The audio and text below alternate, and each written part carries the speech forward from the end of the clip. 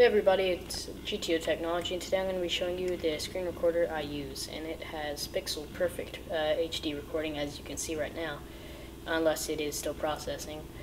It is very sharp and uh, it's called Cam Studio.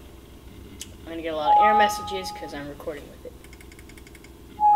Okay, Cam Studio.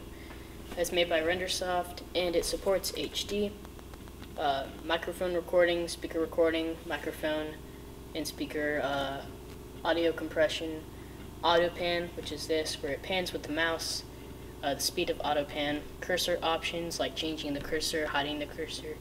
Um, you can hide the flashing rectangle, which you cannot see right now, but it's what outlines the recording area. Uh, you can minimize it on start, and all that, which is very cool and helpful.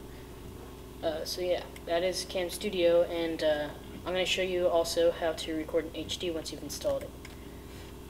You're going to want to go to Options, Video Options, and uh, select Cam Studio Lossless Codec version 1.4 from the drop-down menu.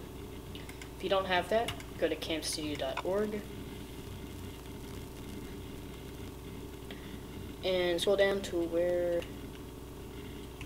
to where it says Cam Studio Codec 14.exe and go ahead and install it. Okay, and once you have it installed, I set the quality to 99. Probably should be at 100, I guess. Doesn't really make a difference.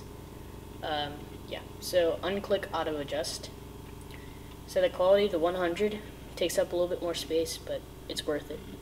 Uh, set keyframes every 30 frames, capture frames every 20 milliseconds, and playback rate 50 frames uh, per second.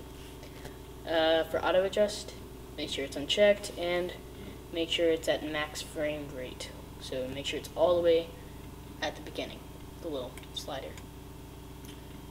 Okay, and uh, LZO and level 9. And uh, once you have that set, go to region, fixed region, 1280 and 720 height.